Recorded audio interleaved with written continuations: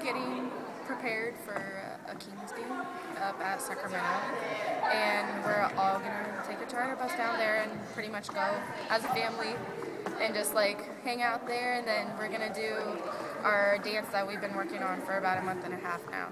Oh, we've been working well. Like we don't really know them because we're West Valley and they're Anderson, but we really like them a lot, and they've actually showed us some things that we didn't know about them.